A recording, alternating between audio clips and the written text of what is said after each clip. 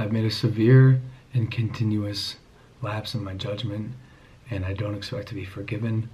I'm simply here to apologize. Nokia.